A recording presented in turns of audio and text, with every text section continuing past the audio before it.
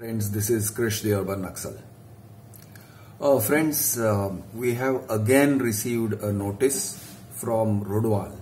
Okay, so sorry. Couple of days ago, they had sent notices to Rajendra Singh and Alvin Dantas. Then they withdrew the notice by an email which said, please ignore the notices.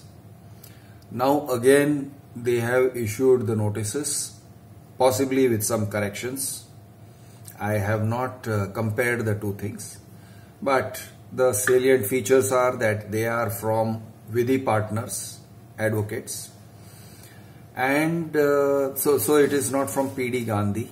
So maybe they have uh, maybe Runwal is uh, has changed their lawyers, as I said earlier. And another salient feature is that right at the bottom they have sent copy to Google India, Google LLC and YouTube LLC.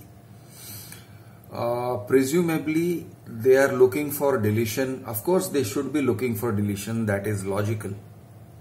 Can't blame them. They are looking for deletion of four videos specifically. One is the video tight on uh, posted on 22nd September. Actually three videos posted on 22nd and 23rd September titled Before Booking a Flat in Runwal, My City, Listen to this Flat Buyer's Experience. 23rd, another one is Runwal gets show cause notice for extortion and cheating from flat buyer, Runwal, My City. And the third one is Runwal application form has criminal intent police complaint by my city flat buyer. And then they are also seeking now deletion of one of the newer uh, videos on 2nd September, 2nd November 2021 Runwal police case. Rajendra Singh got refund but Runwal filed a case because and they said uh, you know so this is re-uploaded videos. Because re-uploaded videos. Now so these four videos they want these four videos to be deleted. Now the interesting thing is there's already a police case going on. There's already a civil case going on. Civil case hearing is uh, expected on 14th unless because of lockdown the hearing is postponed. That's day after tomorrow tomorrow actually because it is already 13th. So what exactly are they trying to achieve by issuing Oh yeah, I stand corrected. Today is the 12th. Yeah, yeah, yeah. So 13th and 14th. Thanks. so what exactly are they trying to achieve by uh, by sending these notices. I don't get it. Now, anyway, let me read you the content of these notices. By the way, I have a bad throat. Hope that's not COVID. Letter for offences of defamation, damages thereon to the reputation and offences under IT Act 2000, infringement of intellectual property rights of Messrs. Horizon Projects Private Limited, our client, committed by you against our client for indulging and conspiring in the act of publicly defaming our client by making false allegations, incendiary and untrue remarks in the said videos. This is the subject. I'm reading you the one sent to Rajendra Singh. We are concerned for our client Messrs Horizon Projects Private Limited under instructions of and for and on behalf of our client. We address you as under. Our client Messrs Horizon Projects Limited is a private limited company incorporated under the provisions of Companies Act 1956 and then they give the address Runwal and Omkar Esquare and our client is engaged in the business of real estate development and is part of the reputed Runwal group of companies. And then so on blah blah blah about the client. They say our client enjoys a stellar reputation and is one of the more recognizable names in the field of real estate. Then they say our client states that our client came across the said videos which had been uploaded at your behest on the YouTube platform on the YouTube channel of one Mr. Krishnaraj Rao making several defamatory remarks against our clients. Now the interesting thing is so far till current time or date I have not received these notices from Runwal and Runwal has not addressed any official correspondence to me whatsoever till this point of time. Why that should be so, I can't imagine. You see, the fact of the matter, and even if they go to court, this will still be a, a point of contention. The fact of the matter is that this is my YouTube channel. Rajendra has no control over it whatsoever. I am a journalist. Rajendra is my source. Rajendra does not have any ownership of his videos. Anybody who comes to me and if I post their story, I post their video on my channel, they have no control over my channel, they have no control over the contents of my channel. They are merely sources for me. They may be interested in having their story published, fair enough. They may have their reasons, fair enough. Many of the people who come to me are aggrieved. It is only if you are aggrieved that you really end up going to the media. For all practical purposes, I am media. Okay. You may call it alt media, you may call it what you like, but this is what media is today. Uh, it's as good as a newspaper. I might as well be running a newspaper with a circulation of about uh, 25 30,000 per day. That's the kind of circulation we have.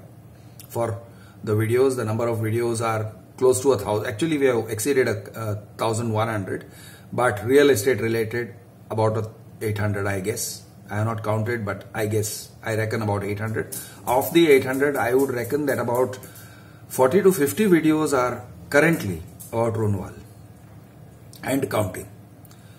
Now, if these guys want their video deleted, I fail to see why they should address a legal notice to Rajendra, the gym instructor, rather than to me. Funny that they haven't done it. Maybe they'll do it. But as of this moment, strange that they haven't done it yet. They have not addressed a single official communication to me saying to me, Mr. Rao, we want you to pull down these videos because they are defamatory. Not happened yet. Very strange. They have gone to civil court, they have gone to police, we got a case going on, everything, but no communication between Runwal and me.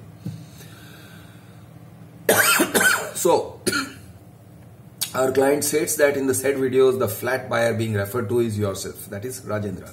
The link of the said videos are, and then they give four links one, two, three, four.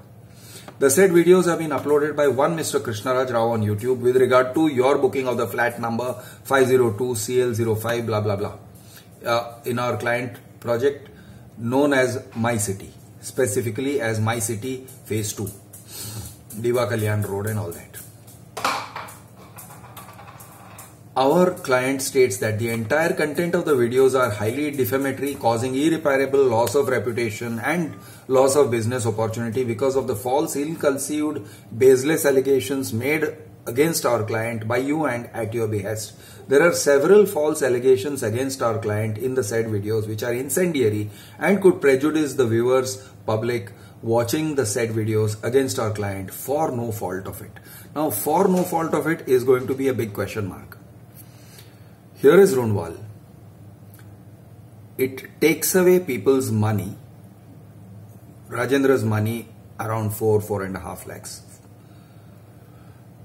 without entering into a contract with him merely based on the terms and conditions written in his so-called application form which they made him sign without showing it to him using his ignorance for that matter the fine print is so dense the terms and conditions of Runwal and all builders for that matter but Runwal is so dense it is such small fine print it is so complicated it's like a jungle of it's like a barbed wire forest of terms and conditions which you will never understand. Even if you're really good with english Even if you're really good at English, even if you're a lawyer or a chartered accountant or a company secretary, you'll probably not understand these terms and conditions. That is the kind of terms and conditions, that many terms and conditions are laid at the door of someone who is a gym instructor like Rajendra, who barely reads English, who finds it, who almost doesn't read English. He might be able to read addresses or names or things like that. That's it. That's the limit. and then, based on that, you take away 4.4 CR from him and say this is forfeited. Similar case, Devdas Acharya. Alvin Dantas is a bit better, but he is no expert. I know that he would not have been able to read. And for the for that matter, most of the people who go to Runwal are unable to read through that jungle of terms and conditions, given the conditions in the sales office. So they are saying that there were several false allegations against their client in the said videos, and that the videos, the entire content is highly defamatory, causing irreparable loss or loss of reputation and loss of business and so on. That is going to be the subject of the trial. Both the police, in the police case, the FIR, presumably if they want they can take it till trial, and in the civil case. And we have replied. We have replied many times over. We have replied to multiple things. There are various notices of motion, uh, we have replied to we have in our in the anticipatory bail application also we have put forward our version of the facts so after we have put forth our version of the facts that's my version of the facts rajendra's version of the facts alvin and devdas acharya's version of the facts they start from abc they start from scratch and issue a legal notice which would have been quite appropriate if they had initiated all this legal stuff with this legal notice. So it is like you have started the entire alphabet with B, C, D, E, F, G, H and you have reached till P, Q, R, S, T and then suddenly you are putting A there. This is A. This uh, legal notice, this is A. This is where you start your legal proceedings, my friends. So, what exactly are you trying? With these, what are you trying to achieve? Moreover, let me point out something. In this, they are not alleging cheating. I am not seeing the word cheating. They are saying we are trying to extort monies. Now, extortion, they could not make out the case for extortion even in the police complaint where the police is openly favoring them that FIR has not included the section for extortion. They've included the section for cheating. Now what is interesting is here they are accusing us, accusing Rajendra actually, of trying to extort monies from their client.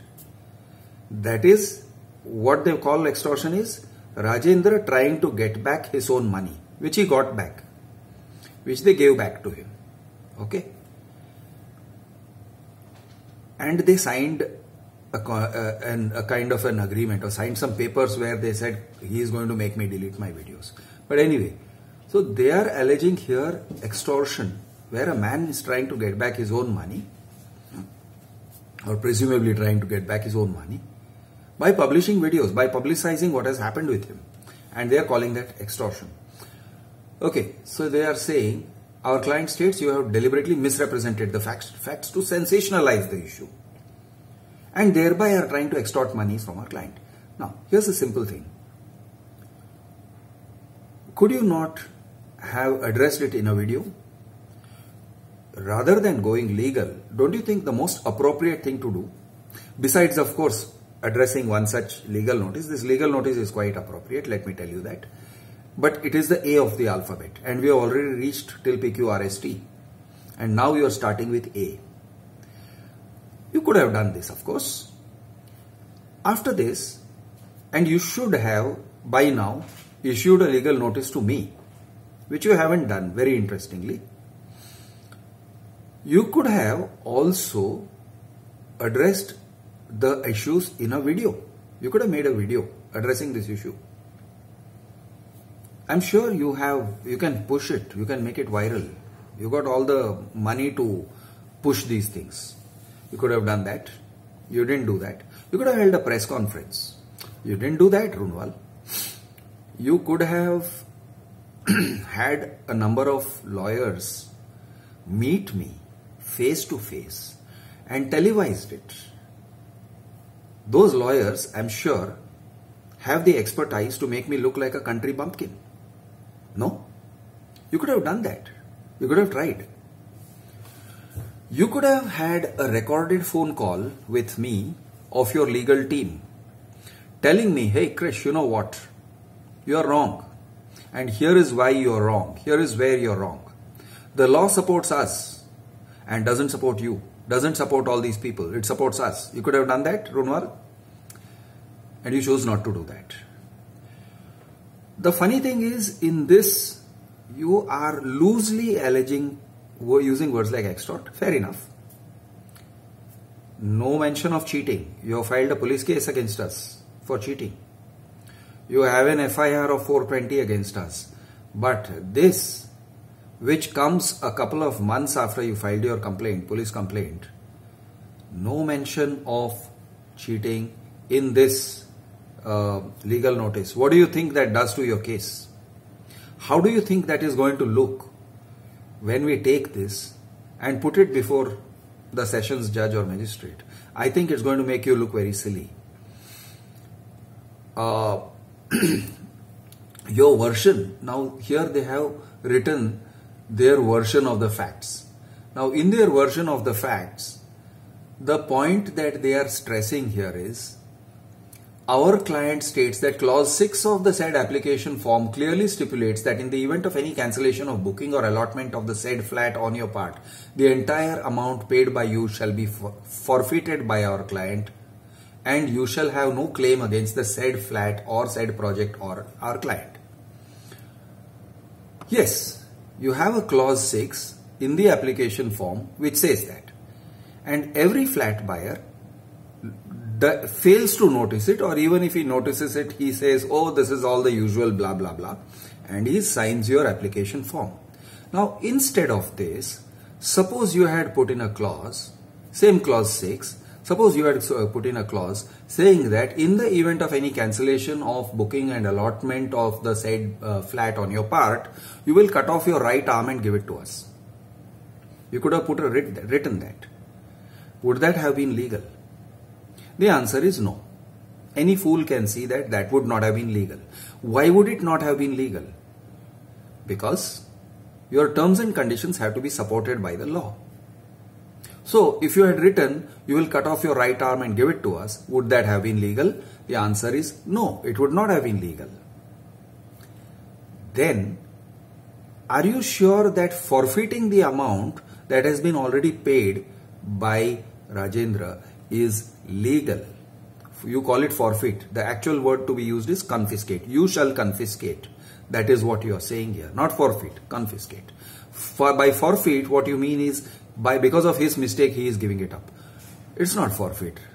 It is confiscate. Are you sure this is legal?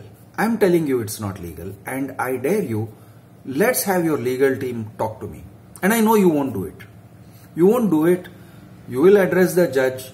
You want to twist all the facts. You want to show the the you know it's this smoke and mirrors gimmick that you want to play before the courts. We'll play that game. I don't have any problem. We'll play that game. I'll have to destroy each and one of your mirrors. I'll have to blow away the smoke.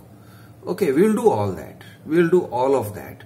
But if you are really looking at addressing the problem the way to do it is to me. Read my lips, Runwal. Talk to me. You're not doing that. Why do you think you're not doing that? What are you afraid of? Are you afraid that I'll extort you? If that is what you are afraid of, well, you could always record me. That's not a problem. So obviously that is not what you're afraid of. In fact, that is your best case scenario. If you can get me on a recorded phone call trying to shake you down, you can destroy my reputation in an instant. That is your best case scenario. So that's not why you're not reaching out to me. You guys are just trying some kind of roundabout tactics, but you know what's gonna happen.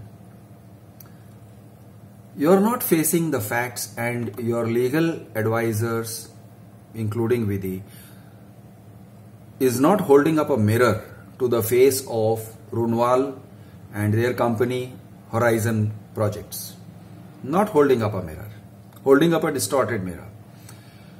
Later on in this, you are saying that your clients, that is Runwal, bowing to the pressure and the threat of losing its reputation in the market, your uh, client amicably settled the ma matter with Rajendra via a settlement deed. Correct. You signed a settlement deed with Rajendra. And in that deed, you said Krishnaraj Rao shall delete. How? I am not a signatory to that settlement deed. Rajendra is. Rajendra has no control on my video channel and I will not delete it. The, I, I made the mistake of deleting it that day because I wanted Rajendra to get that money. That was a mistake. That was me being soft, me being gentle. Trust me, that's not a mistake I'm going to commit again. So now every video that has been published is like a video, is like a newspaper article that has been published in Times of India. Regardless of whether it gets pulled down anywhere, it bloody stays in the print edition. It stays, it has been printed, it stays. It's there for eternity. And every passing week, every passing month, every passing misstep that you make, every bloody court hearing, every bloody notice that you send, Runwal, be clear, is going to result in one video at least, maybe more. Every mistake. Think about whether this strategy is going to serve your purpose. It's not. You said that you have forfeited the amount because it was contractually agreed between Rajendra and you. That is a lie. There is no contract existing between Rajendra and you for forfeiture of his money. Guys, I am going to continue reading this in another video. Till then, Krishna Raj Rao, Urban Naxal, Jai Hind, Jai Jawan, Jai Kisan, Jai Maharashtra.